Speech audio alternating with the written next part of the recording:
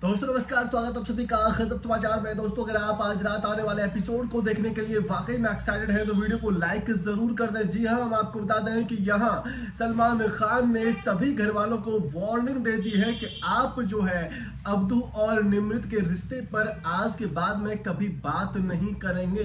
जी हाँ उन्होंने यहाँ बोला है कि आप जो है, इस मुद्दे पर कभी बात नहीं करेंगे, क्योंकि हम आपको बता दें कि यहाँ साजिद खान, शिव एमसी स्टैन जी जो है, बार बार अब्दू को चिढ़ाते थे कि आपकी गर्लफ्रेंड या फिर आप जो है इससे क्या रिश्ता मानते हैं? और आपने यहाँ प्रीवियस एपिसोड में भी देखा होगा किस तरीके से साजिद खान ने यहाँ अब्दू को तंग करके रख दिया था, जिसमें देखने को मिला था कि अब्दू जो है हताश, निराश नज़र आ रहा था, जहाँ उसको टास्क में यहाँ टास्क नहीं करने दिया जा रहा है, वही उसे यहाँ ह्यूमिलेट किया जा रहा है कि आप ये कर रहे हैं या फिर वो कर रहे हैं। और सबसे ज़्यादा जो साजिद खान, उसको अपना दोस्त मानते हैं, वही उनके साथ में ये हरकतें कर रहे थे। तो आज रात आने वाले एपिसोड में आप यहाँ देखेंगे कि साजिद खान की क्लास लगाएँगे सलमान खान फॉर अब्दू। जी हाँ अब्दू का साइड लेते हुए नज़र आएँगे और सभी कंटेस्टेंट से ये बोल देंगे कि निमृत और अब्दू के रिश्ते पर आज के बाद कभी भी आप बात नहीं कर सकते हैं। बहरहाल दोस्तों, इस वाक्य पर आपकी क्या राय है? आप अपनी राय हमें कमेंट बॉक्स में कमेंट कर ज़रूर दें। साथ ही अगर आपको वीडियो पसंद आया है